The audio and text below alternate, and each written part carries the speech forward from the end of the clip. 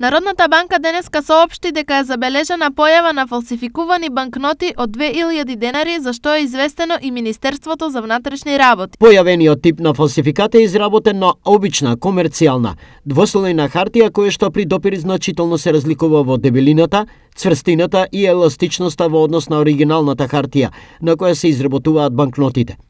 Покрај тоа, оригиналните банкноти содржат високо софистицирани заштитни елементи според кои граѓаните може да направат разлика и да ја препознаат нивната автентичност. Велат од Народната банка. Доколку се забележи фалсификувана банкнота, граѓаните треба да се обратат до банките или до Министерството за внатрешни работи.